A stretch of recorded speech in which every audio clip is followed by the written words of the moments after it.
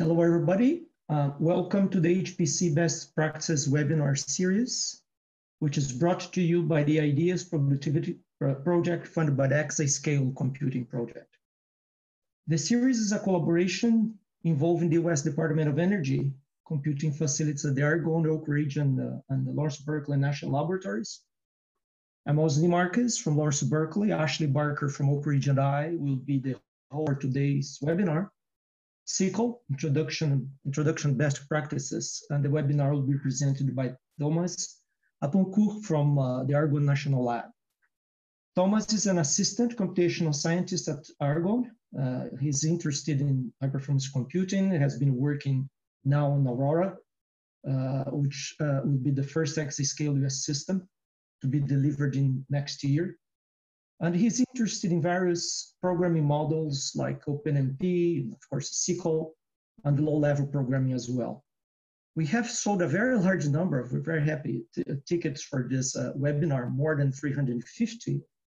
Uh, and all attendees have been muted by default. We'll be receiving questions through the Zoom chat and also the Google Doc.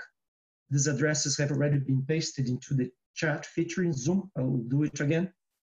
And the webinar will have a break so the speaker can respond to the questions that come in. So with that, I'll um, um, stop my sharing here. And Thomas, please, you can uh, start your um, presentation. Hi, everybody. Thank you for the introduction and thank you for assisting my talk on SYCL, introduction and best practices. So we'll start with a, a light introduction just to explain why SYCL maybe have an interest for you and some of the core concepts. Then we'll go after theory. In theory, we'll talk a lot about SYCL, the underlying concepts they use, and uh, maybe it will be uh, too much information, but it's just to give you an idea. And then we'll do half an hour or 20 minutes of live demo, so you can see, you can see concretely in real life how SYCL behave and if SYCL is maybe a good fit for your, for your code or not. And at the end, I will have some conclusion. So we'll have some break of each of these sections so don't hesitate, don't to hesitate to, to ask questions either in the chat or more preferably in the Google document. So quick introduction. So first, why we need SYCL and how it is a state of in HPC. I guess it is a news for nobody that future exascale uh, system and future large system will be accelerator based. So you will need to be able to offload to this accelerator to be able to, to target. Most of the time it will be GPU, but maybe in the future it will be something else, FPGA or whatever. So the question now is how, what programming model should you use to be able to use those accelerators? One of the traditional way to do it, it is OpenMP.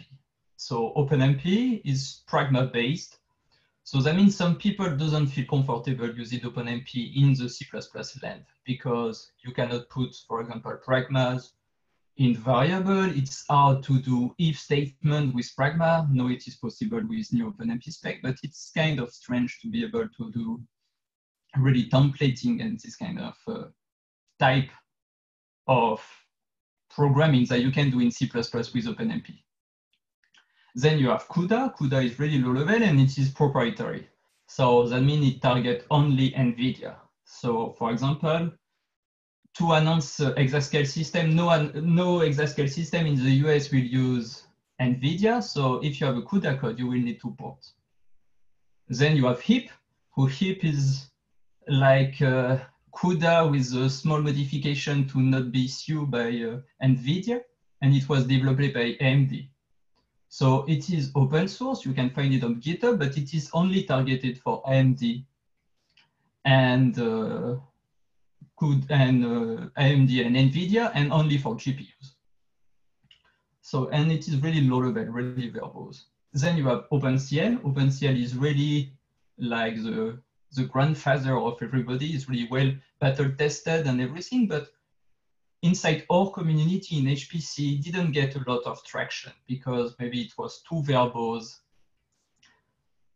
So it, it lets us, we need something who feel like C++, who is C++, and who can really target a lot of different architecture. This is why we, we saw the development of Kokkos, the, the famous Raja 2 or OCCA, who are high-level abstraction layer. So it feels like C++, we can use template. But both of these three run are uh, academic projects. That means they are developed by a few, but smart people, but they're really not a big team. So it may have problem. It's not clear if they really be sustainable in the future, if they are here to stay. So they are passing the good direction, but they are still academic project. So I think what we want and what SYCL was designed for is like, it is designed to be really targeted for C++. So if you like C++, and by C++, I don't mean C with classes, but I mean the new C++ with lambdas, with a lot of functional programming ideas, you, you may like SYCL. So it's really like C++, you have no language extension, it's purely C++, no pragmas, no attributes. It borrowed a lot of concept of uh, OpenCL, so that means they didn't reinvent the wheel from scratch. They reuse a lot of concept was, who were working. For example, it, it's reused like these platforms, this device, this one group, this range. So that means you still have some documentation about the concept used in SYCL, but they make it really more C++, so really less variables, a lot of abstraction. It is single sources, which is nice for, for I think HPC developer, it's still more natural. So you just have your kernel and all the API to launch your kernel in the single file where in uh, OpenCL, for example, or in CUDA, you need to have in two different files. The key novelty in SYCL, and I think it was a really good thing, is this kind of implicit data transfer. For example, in C, to go from C to C++, at the beginning in C, we are like, we need to use malloc. We need to freeze them because we are smart compiler will never be able, smart enough to be able to handle memory management after we realized it was maybe a mistake, so we create C++. And in C++, all the malloc and free are mostly hidden with the scope and constructor destructor. And they took the same approach here for accelerator, where most of the data transfer are hidden from you with the compiler who will do it for you. So you will create accessor, we'll talk it a bit more later, and buffer that will encapsulate your data. And after using this accessor, the compiler will be and the runtime will be able to understand what kind of data movement you need to do and try to optimize them. And maybe most importantly, SYCL is really a specification developed by the Khronos group, who is a really a big group, who is a non-profit where you can just join. And they already have a large background of projects they did. They did OpenCL, they did SPIR, SPIR-V, Vulkan in the graphic OpenGL. So that means it is really is really public, everybody and a lot of vendors are working on it. As a proof, right now it's all the possible uh, single implementation who exist right now that you can try. So the, I think my favorite just by the name is triSYCL. So triSYCL is developed by the Xilinx company. And it is a SYCL compiler takes SYCL, and after you can use OpenMP to target any CPU or OpenCL to target mostly FPGA at the beginning. At Argonne, we, SYCL will be one of the programming models that we support.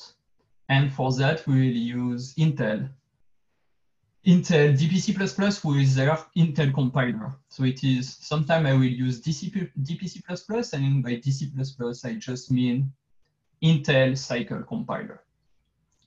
So with DPC++, you are able to target Intel GPUs, but also NVIDIA GPUs and Intel CPUs and FPGA. So you can try it, it is in public. So it is based on Clang, on NVIDIA Clang, and right now the GitHub is public, so you can just download and install it. In fact, in the presentation, I will use later with the live demo, I will use DPC++. And if you go in the repo, I have a Travis, Travis CI, where I installed oneAPI, DPC++, using just a regular sudo apt-get. So it's really easy to install. I encourage you to try if you want to. And in another spec, you have hip HipSYCL with a SYCL and is targeting using HIP. So it takes SYCL and at the, at the backend generate HIP. So you can target AMD GPUs and also NVIDIA. So this slide is just to show you that right now, it is picked by a lot of company, Intel, Codeplay, Xilinx, and is able to target the vast majority of all the hardware possible. Sorry. So the goal of this talk is really, it's only one hour, so I will not be able to, to give you really an in-depth expertise of SYCL, but just to give you a feel, just so you know if it is worth it for you, if you feel confident porting your code once for all, let's say, to SYCL, so you will be able to target multiple accelerator for a long time. Then I will go through some code examples, so you will really see in the in real life how it works and everything. And like I say, all the questions are welcome. So just post it on the Google Doc or in the chat window. And we, we already have one question. oh, so perfect. It is the end of my uh, introduction, so we can I can answer the question. Okay, I have a Windows 10 workstation with an NVIDIA GPU. What compiler toolchain should I use for SYCL development? So my understanding is is on Windows, right? This is what he said. Correct. Windows. Yeah, so I have no experience on Windows, sorry. So if I was in your position, I think I just install a, a VM and after I use uh, either Intel DPC++ with the NVIDIA backend, or maybe and or maybe the AMD HipSYCL if you want to target your AMD, your NVIDIA GPUs. Okay, thank you, Thomas. Um, we will um, uh, Thomas, uh, we'll ask Thomas to, you know, to write his answer in the uh, Google Doc afterwards. Please go yeah. ahead, Thomas. No problem. And please, I will ask if somebody have more information about using uh, SYCL on Windows, but I, I think it will be supported at some point for sure, but I never tried. So. Okay, so now a little more theory for computer scientists who are here and would like it. So, so as I said at the beginning, OpenCL uh, SYCL is based on OpenCL concept.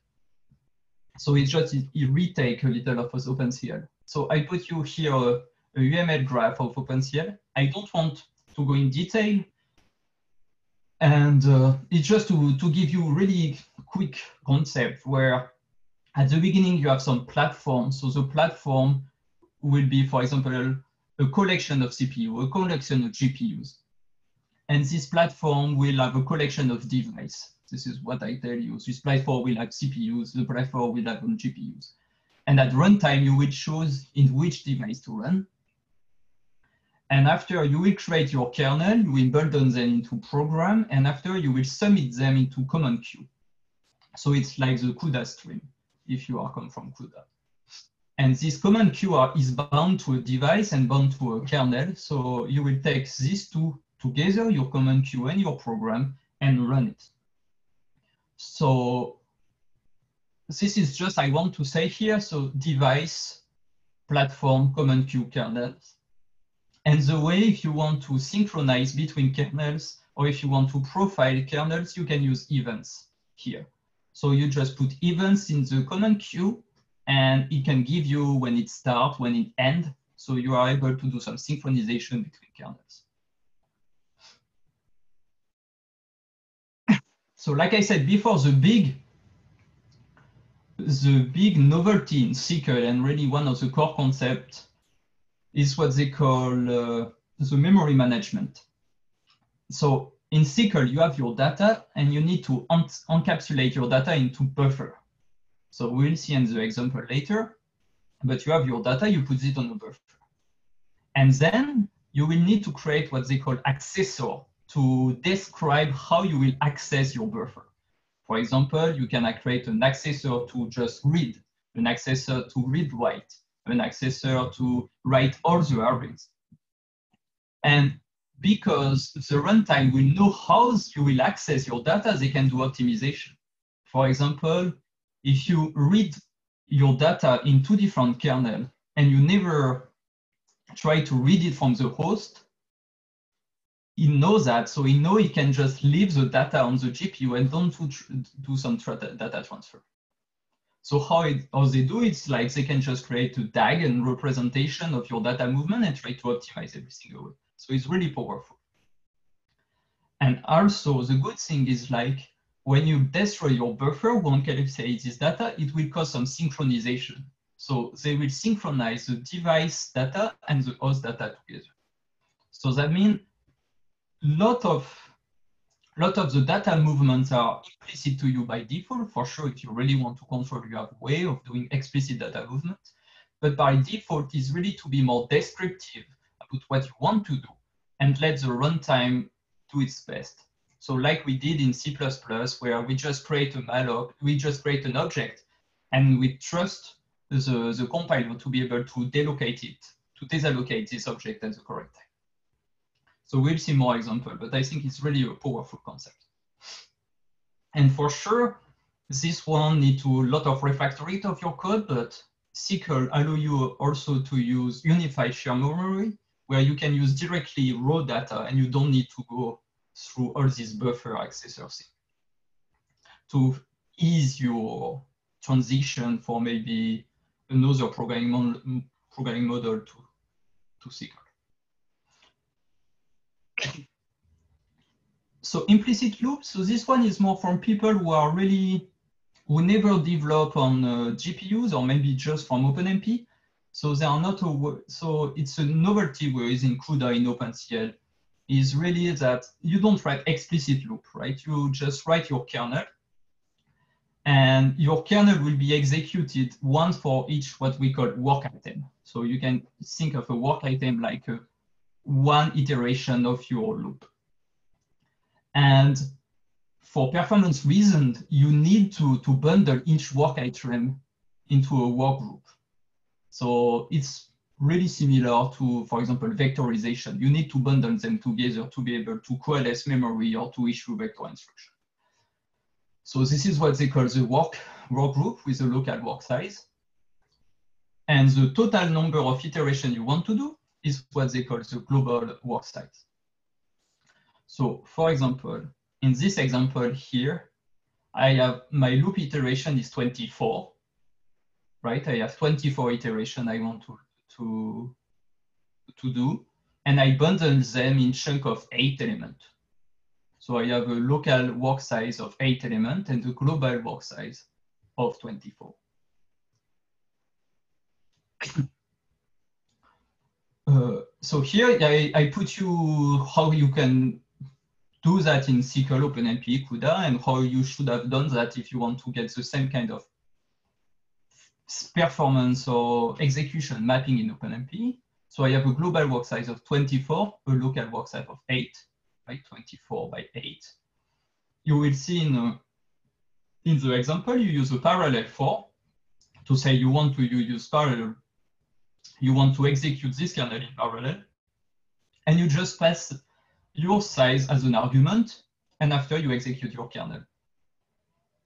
So really easy. It's just you don't write the for loop. The for loop is more or less implicit inside this parallel. And inside your kernel, you can have access to some variable to know where you are in the iteration space. Where in OpenMP, if you want to do the same thing, you create your first for loop in the work group where your work group, the number of work group is your global work size in local work size. So here I have three work group. And after inside each work group, I need to go through my little uh, chunk. So for local size to local work size.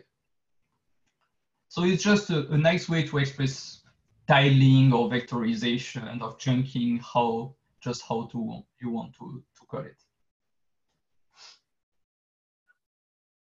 so I think now we are ready for the for the half, uh, half an hour live demo.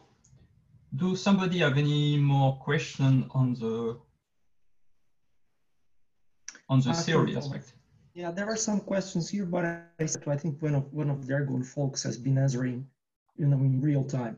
oh, so perfect. We have a lot of lot of experts on the call, so don't hesitate. Yes. Okay. Well, so. just right. So, but perhaps. I could just read the questions for you know, to, so you can give your. Well, one of the questions was this. Um, uh, however, much I'd like to develop in C++, a lot of um, HPC codes right now are, are in Fortran. Uh, are there Fortran bindings for SYCL? So, so SYCL is in C++, right? So SYCL is really targeting in C++. Nothing really forbid you to create some ISOC binding and to expose some C interface and after call this Fortran, this C interface in Fortran but no, by definition is really targeted to, to C++. If you are in Fortran, you, I think the natural way is to stick with OpenMP because OpenMP will have all the, all the feature. But so easier, yeah, so easier stick with OpenMP or just maybe modularize your code so you can just expose some C API and inside this C routine just call whatever you want. For example, SYCL. Okay, another question here uh, participant is planning to port uh, their CUDA kernels. Uh, and their, the kernels use multiple CUDA warp shuffle intrinsics for sharing data between two CUDA threads. Uh, is there similar support for SYCL available? Uh, yes, I think so. You in SYCL, you have this notion of uh, subgroups and everything. So I think it should be possible. If it is not possible and it is really something, so SYCL is still new version I've released of SYCL. So if you find really something who is uh, missing in SYCL, we can just talk to the SYCL committee and put it. Or if you are at Argonne, for example, we can work to, with Intel to just put it on uh, their compiler first to see if it is really useful and then put it back to the main uh, SYCL community. But I think, uh, yes, it is possible to do this kind of inter-warp communication. Okay, Thomas, please go ahead. So a little uh, uh, bookkeeping for sometimes people like to know what I am doing. So I will use Argonne cluster just for convenience because I have my setup here, but I should have been use anything else. I will use the Intel SYCL, uh, so the DPC++ compiler. I will run on Intel Integrated uh, Iris Gen 9, and I think the host in the is uh, Skylake. And all the example, if you want to, to follow with me, or if you already by chance have some SYCL uh, compiler and you want to run it at the same time, are available on our nice uh, GitHub page. So let's get started.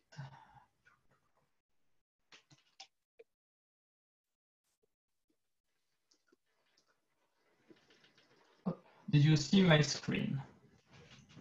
Yep. So if you just git clone uh, this uh, repository I sent you, you will have uh, this folder. So in presentation, we put uh, the presentation we already did before and this one, so the slider here. The examples are in a nine SYCL of hell folder. So I'm not sure I have the best uh, example, but for sure I have the best name of all. And in this example, you have like uh, nine example, like the, the name suggests. And it goes from really simple one, we'll start with this one, to really more complex so C++ groove with functor, std bind, and everything. So we can we'll see how far we can go in this uh, in this time. But please don't hesitate if you have any question, any feedback, to just open a GitHub issue or just drop me an email. So let's get started. So the first tiny SYCL info. So this code, this code is just to list the platform and list the device available on your system. So it's really like the, let's say, the hello world of SYCL. And it's just to give you a feel that SYCL is really like a C++ API. So it's really deep into the C++ concept. So the first thing, we list the platform. So where, for example, in OpenCL, in C, because it is in C, so it's kind of verbose. In, uh, in SYCL, it's really easy. You just create a, a vector of platform. And after you have those platform, and just you just create a for loop, you iterate over this platform. And you can query information about those platform. For example, you can get you can get their name, their vendor, and maybe the version of the platform used. Just one interesting thing to see here, if you are not aware of this uh, new C++ trend where type is everything. What I do here is get info is a templated function and I overload get info with the type and this type corresponds to what I want to get, right? So get info doesn't take as an argument, for example, the string name. It takes as an overload, the type will correspond to the name. So it's just the SYCL, the SYCL way and the new C++ way. So, and if somebody in the audience is a C++ expert, then how know how I can create a list of type, I will be really grateful because right now you need to create, you, you need to copy paste and it is a little not really pretty. So I have this list of platform and then I create for each platform, I get the list of device and same thing for each device. I just loop and get some information. So here I just get the name and I just check if it is a GPU or not a GPU. So really simple and you see on this is really not very, really like terse, 30 line of code. So it feels really like C++ to compile, I have just uh, uh, a, a, a Makefile, and you see just I call the TP, TP compiler, and I use std17. So right now, I think SYCL is just base require 1711. But I think in future versions, they will bump the, the version of the C++ standard they, they require. And I think they want to, to go at the end in C++ 17. And after you can just execute this uh, little example. And you see here on this particular Gen 9, I have four platforms. One platform is the OpenCL uh, platform for my GPU, and inside I have my Gen 9 GUI is a GPU. Then I have another platform which corresponds to my CPU, and I have my CPU. And then I have another platform who correspond to, to still my GPU, but with another backend with what Intel calls the level zero, who will be their low level driver, low level API to be able to access the GPUs. And by the spec, SYCL is required to always give you a host platform where you can run if you have nothing else. And this is this last platform. So this is a good thing. That means you can, you should be always be able to use SYCL. It doesn't matter if you have an accelerator or not an accelerator. It will just run on this uh, CPU, what they call host platform. So you see to compile nothing special, one file with this DPC++ compiler, and that's it. So now let's try to, to write our first kernel. So we are able to get all these platforms, this device, but now let's use one device in particular to submit a kernel. My first kernel.cpp. So first thing first, you need to, to define, uh, you need to say to, to define which device you want to use. For that, you have multiple ways, but the most uh, let's say, practical and high-level way to do that is to create a selector. So you create this default selector, and when you when you will use it, the runtime will choose for you which uh, device to give you. So for example, here I say by default, just give me one. I trust you to give me the best. But you can say, give me a GPU selector. So I want just one GPU. Or a CPU, I want one CPU it's also possible for you to write one. For example, you want to do you have a platform where you have multiple GPU and you want to do some round robin. You want to submit the first kernel to one GPU and the second kernel to the other GPU. So you can create a selector for that. It's really polyvalent. Then you see, I will create some scope because like I said previously, scope are really important in SYCL because scope will call destructor and destructor will impose some synchronization rule. So here I create the first, the first scope and I will put my queue inside. And what that means is when my queue will go outside of this scope, I will have some synchronization and it will enforce the queue to synchronize. So I don't need to call queue dot uh, sync or wait for finish. It, it will be implicit at the at the when the destructor will be called. So I create a queue. So a queue, like I said previously during this uh, UML diagram, is where I will submit my code to, and this queue take a selector. And after, I can just introspect this queue to get which device is choose, he has chosen. So here I will just ask for this queue, okay, please tell me where do I run? Always better to know where I run. Okay, so now those line, if you're not in C, C++, it look like a little strange, right?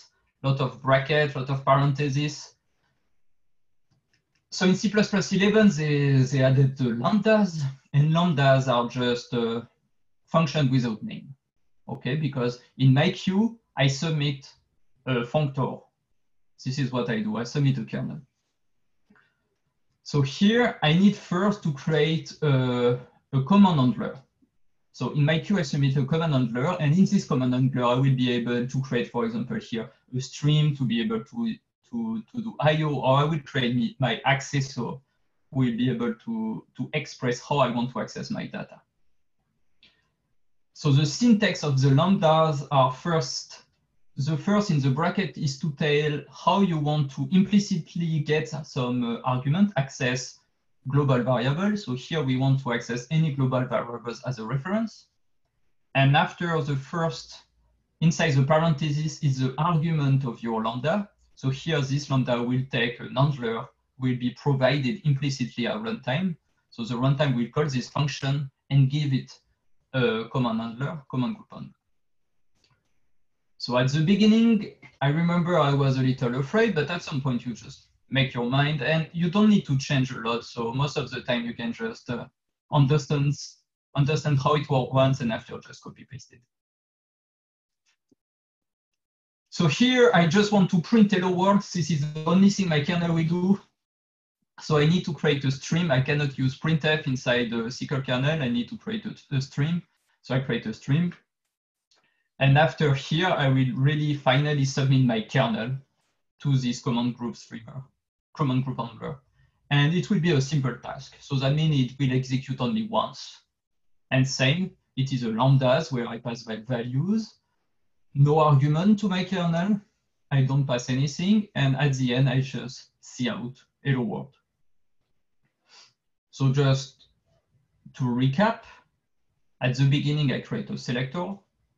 After I use this selector to create a queue, I ask my queue in which device I run. Then I use this queue to be able to submit the first functor or first lambda will be able to what is called the control group. And inside this control group, I use this control group handler to be able to submit my real kernel. And this real kernel is just uh, an hello world, it just print hello world.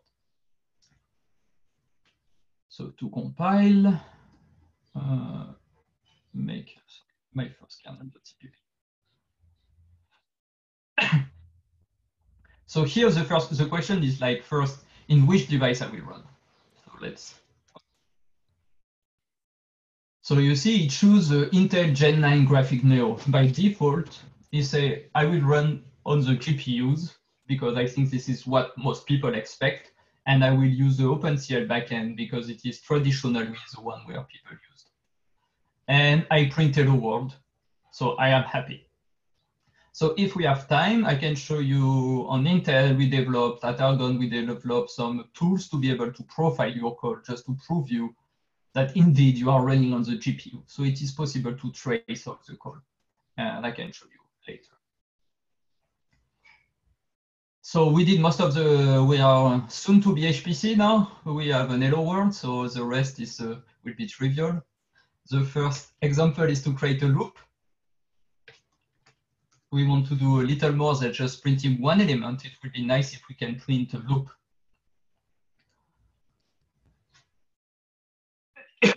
Sorry. So at the beginning is uh, the same thing as just parse them into to be able to, to get the global range. So you remember before it was what I call the global work size. So I will just use pass this global work size as an argument and for each work item, for each iteration of this global work size, I will just print, I think, my index. So at the beginning, same thing, nothing changed, taking back Q. So here, the big change. Before I was using sing single task, and now I submit the parallel for.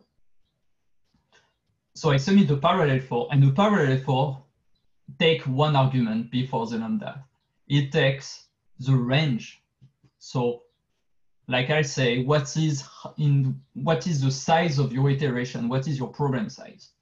So here I pass a range in one dimension. You can change the dimension. I have example if you go in advanced Inferno, how if you want to iterate in 2D, 3D, it is possible. Here for convenience, I just use 1D. And I say I want to iterate over this global global range.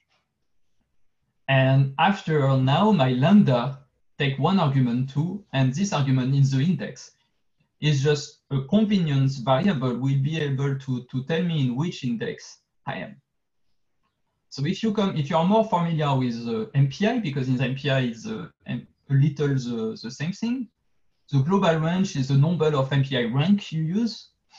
So you MPI run n uh, equal, for example, I don't know, 200, you will have two 200 MPI rank, uh, MPIs, yeah, MPI rank. And after here, you can just get your own rank in which rank you are in this big MPI uh, space.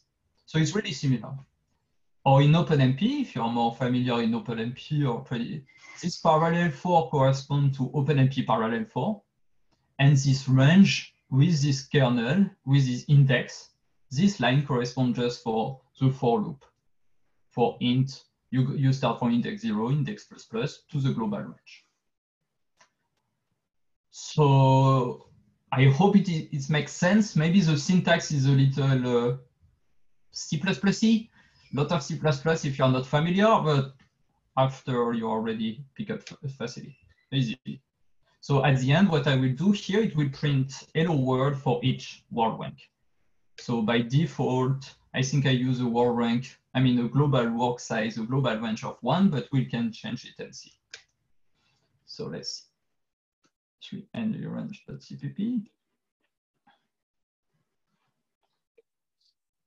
So it is C++, uh, it takes a little bit of time because a lot of templating and everything. And let's say I want a global size of 10. And you see now, oh, sorry, I didn't compile the, the code one.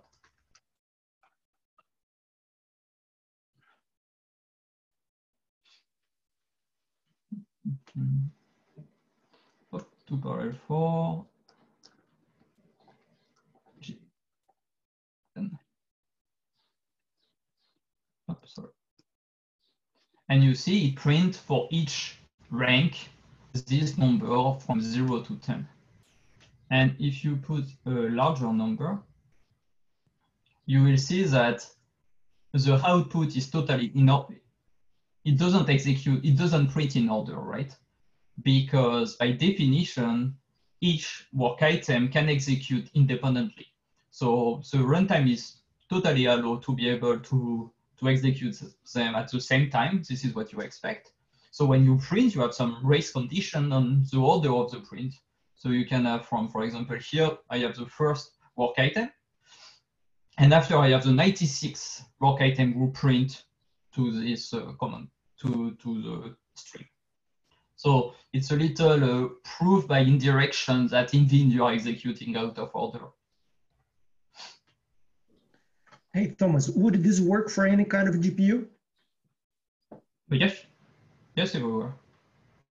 You just need to have uh, the correct compiler. So Intel, if you use DPC++, it will work for NVIDIA and Intel GPUs, but other company, ComputeCpp, for example, I think can target uh, AMD or hipSYCL can target AMD. So it just depends of your compiler, but yes.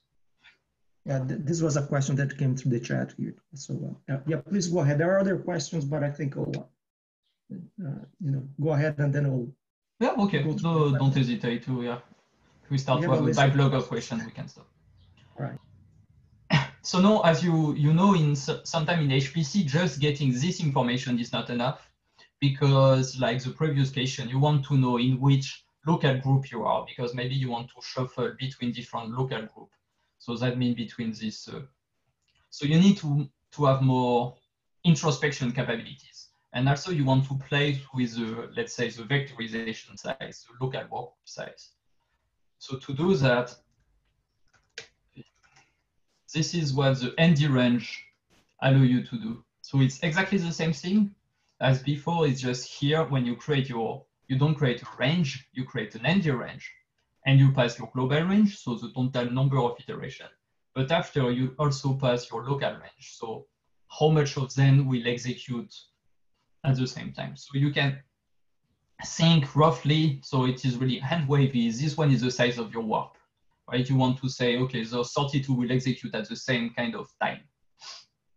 And now, because you have this kind of 2D aspect, you need more uh, introspection capabilities. You want to know really where you are in this big iteration space. So you have all these functions with should be familiar for some people if you already did some CUDA or OpenCL. Get global ID, this global range, local ID, local range, group, group range all these kind of functions with totally available will again give you a lot of introspection. And uh, so this is what I run before, 10. And so I want a global row proof of 10 and a local size of 5, for example. Uh, and it's not uh, parallel 4, it's 3D ND range. And you see here, I am my local size is five. This is what I spend. So, and my group size is two, where because I execute my thing of size 10 by chunk of five, right? Nothing special.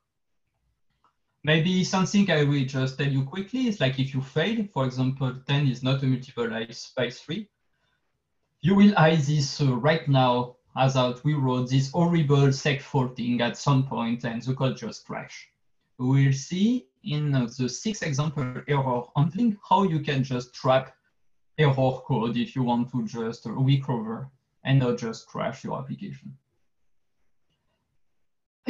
so the last thing we need to do to be able to really use it at production is to be able to do data transfer.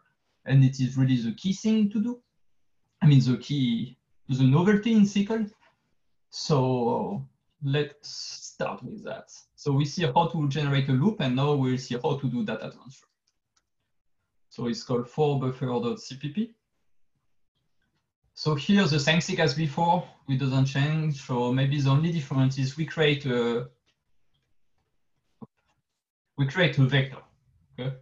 Create a vector of size global range. And what I want to do is just to initialize this vector with uh, so the element zero should have the value zero, the element one should have the value one, and so on.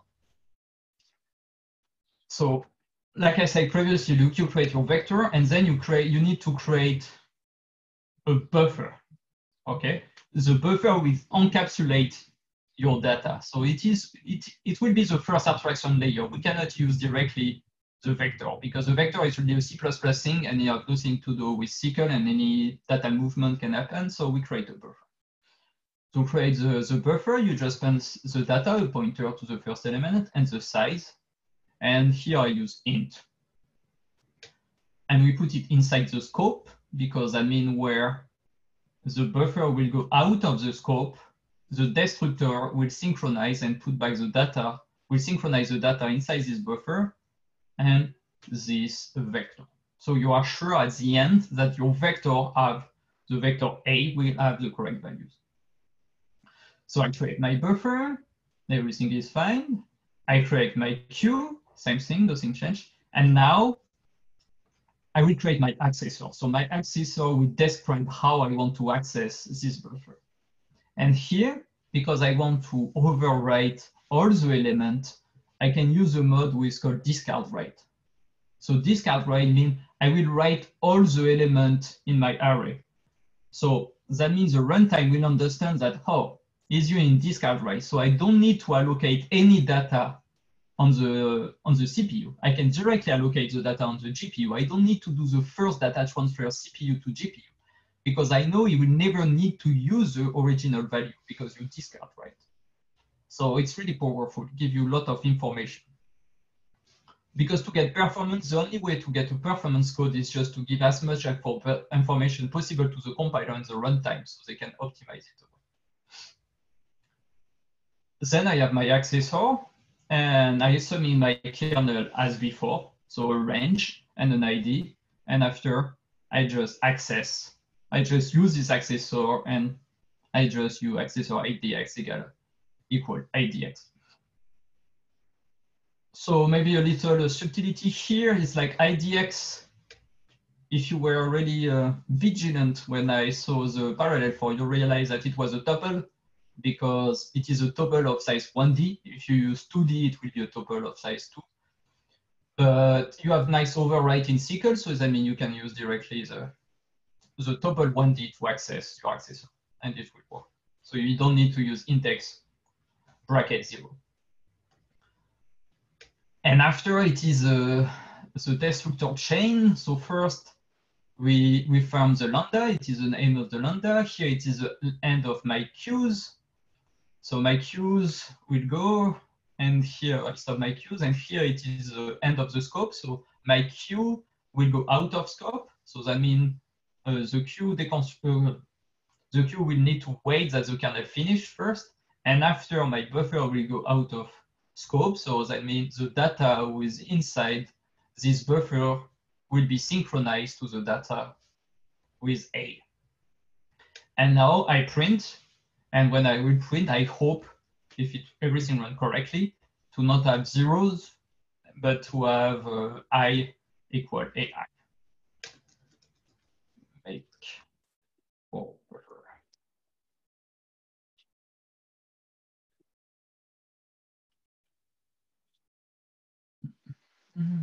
For the for global, for example, let's use 10. And you see indeed it, it is working. A0 equals 0, A9 equals 9. And uh, you need to trust me because we don't have time, but if you profile this code and you count how many memory you do, indeed you didn't do any memory from the CPU to the GPU. You did only one memory transfer and it was from the GPU to the CPU to be able to, to get back the data. So it's really powerful. I think you can start imagining if you, with all this access or how you can really give lot of information so you will never do any spurious data transfer. But maybe the last one before I take any question is sometime you know when you need to do data transfer and relying on a destructor can be a little uh, tricky sometimes in your application if you really do some fancy and you're a ninja programmer, like we say. Fortunately, uh, SYCL gives you some control. And for example, here I create my my buffer outside of the scope, right? So my buffer will never be synchronized. So if I try to access my data at the end, it will still have the data on the CPU. It will never be synchronized with the data will be set on the GPUs. So what I need to do is here I can just create this update host function. And the update host will just force or maybe give, you will give the runtime the order to be able to synchronize. So that means take the data who is on the GPU and put it back on the host. So you have all this control if you want. So then you just need to create a new queue and uh, So don't to submit a kernel, this one is a kernel, and you just create a, an accessor. Oh yeah, uh, just before I answer to question, I really recommend you to use auto because the type of the accessor is really maybe, I don't know, five line, line long. So please auto use auto for the accessor. So if they have any question, I can answer some question, or if not, I can go with a unified share memory and maybe more advanced C++ construct. Yeah, Thomas, thank you. Yes, we do have some a bunch of questions here. Let me see. I'm going through the list. I don't think uh, there's a long one, but just to, to, tell, like to tell the participants that this the Q and A uh, will be will be sending this to you by email next week with a uh, link to the recording as well. So, but uh, okay. So let me uh, go here. So, is there a library of SYCL accessors to cover the common needs of ECP developers, or do I have to write my own specific my own specifically for my code? So right now, I think you have only three type of accessors. So you have read, write, or maybe four times. So you have read, write, discard write, and read write. So this is the only type of uh, way you can express the way you will access the data. I guess maybe in the future, if you have maybe some pattern where really common in HPC application, we try to, to see maybe, for example, in OpenC, in OpenMP, they are like triangular collapse or this kind of or whatever. If you have maybe some really pattern used really a lot in a lot of different kernel, I think it's maybe worth it to to try to see if we can put it on the spec. Okay, uh, another question here. For an existing large for an existing large application, how intrusive will it be to add SYCL? Is there experience how much code change is necessary? So maybe just so in a side way. Intel is providing what they call the the DPC++ translator, I don't remember the exact name, but it is a tool to take your CUDA code and to transform it into your and transform it into SYCL. So it is the first step. So it may help you. So it not mean to be a new compiler. It's really something to help you porting your code. And also for the question is really depend on how your code is architect. If it is architect really in a modular fashion, it should be less intrusive. I guess in reality, most of the code are not architect this way. So I would not like to use changing programming model is always a little uh, painful. But you can use unified shared memory. so if you use unified shared memory, you don't need to create accessor and all these kind of things. So you can use directly row pointer to your kernel. So if you use unified shared memory, it's it's mostly a little, it's really easy to port your code because you just need to rewrite your kernel. That's it. Another one uh, here. Is there any comparative performance data for a C++ code using SYCL versus using OpenMP to do exactly the same thing? Yeah, so we have a lot. Uh, so it's really a what can I say? An active research development and area. So I think you should expect in the first, uh, I think maybe some paper are already published, but in the, in the next months, you should expect a lot of paper doing that. What I saw by personal experience, but don't quote me on that, is like, as always, most of the time is really similar, and sometimes you can find some particular, partic pathological case where one of the other, I saw SYCL code outperform OpenMP, but I also saw OpenMP code outperform SYCL. But my understanding is like no nothing in the in both language should uh, both of them should be similar in performance. So it's not like one have more advantage than the other. So so yeah. So I think in the future, we should show more and more paper trying to do this performance comparison. Uh, well, may I have a question? I have first uh, fast technical question. In your files, there is a include file C capital L capital. It is property of Intel, DCPPP, or where we can get these files? Uh, which one? Sorry, which file? Ah, in the first line, you have include CL slash dot cpp. So what I did, I just uh, during the seminar uh, registered on uh, Intel Dev Cloud, and Yeah. your stuff there. There is a but uh, uh, running DCP plus plus whatever it is, it didn't find this CL slash pp. Oh, so maybe maybe this one is I'd old. like to look at the questions here, please. Okay, so another question here is the is there a way to see the intermediate processing steps between source code and machine code? Specifically, it would be nice to see what's vectorized and where how loops, arrays, sizes are broken into files. Yes. Maybe there is an intermediate representation that has style prefetch information or something. Yes, so so if you want to be a little more technical, so how it works is like you take your kernel code in for at least for Intel it's generated in SPIR-V. So SPIR-V is the intermediate representation, really similar to LLVM intermediate representation. So you have some flag in DPC++ if you want to emit this one and see it. Then this SPIR-V intermediate representation will be compiled compiled to Gen assembly on Gen 9. So we have some tool also to see the assembler. And after, so you can check everything. If you really, if you want to do that, the easiest way is to use VTune. And VTune have some uh, DPC++ capabilities, so you can profile your code using VTunes, and you will show exactly the vector size used, the global work size, if you have any spill register and everything. So VTune, we can give you all this information. So, uh, Thomas, does the CPU support of SYCL extend to Intel KNL?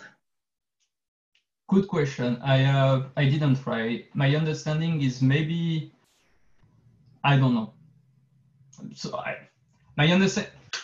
If I need to say yes or no, I should say yes. It should work because OpenCL I think should work on the CPU, but I think it was really not optimized to, so the performance should be not good. But if you want to debug, it should be possible. Yes. But I should so don't quote me on that. I can try to see more information and run some tests on it. So uh, some people here, uh, Thomas, are com uh, uh, complaining that I think the code that uh, uh, they cannot compile, they are getting errors. But I think Oh. this has to be this has to be addressed offline, right? Yeah, yeah, so I think so. Maybe if so, if it is just from import, let's see, because I run on the dev cloud most of the time, so maybe it's just a source. I will can give you a reproducer. So what you can try is just to maybe on the dev cloud by default they remove. So just use this one, import directly sycl.hpp and remove this uh, namespace because maybe they remove it from OpenCL. But I will try. I run most of the time of dev cloud, so I will give you the how to do how to run on dev cloud. Yeah, so, so let's, let's go. I think we have, a, we have a couple of more questions here. How could one express AVX 512 vectorization exp explicitly in SYCL?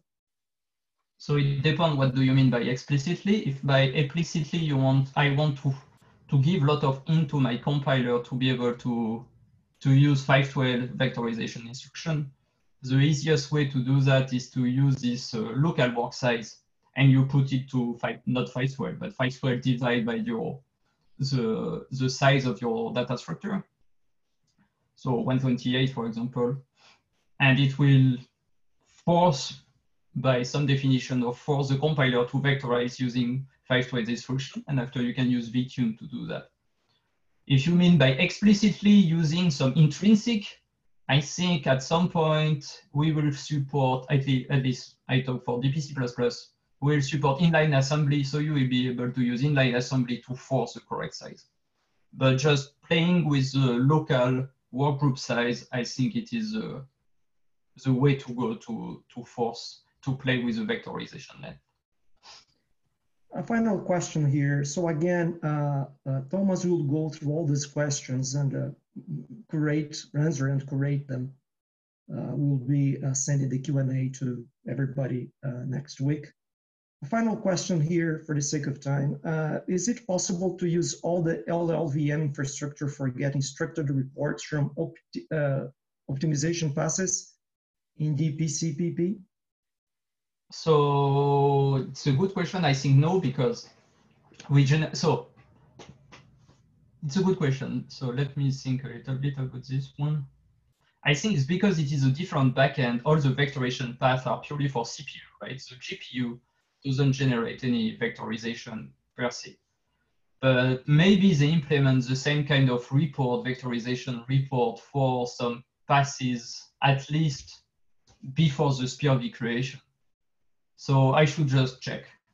So I think you can have some information, but I'm not sure what kind of information, if it is a full information. So I will try and go back to it. Okay, so it's 11 o'clock here in California. Uh, uh, I would like to show uh, a final slide. Uh, um, let me share my screen here. Thomas, if you could. Yeah. Okay, so. Uh. Thank you everybody for joining us um, for this very nice uh, webinar on SYCL. Thank you again. Uh, merci bien, Thomas.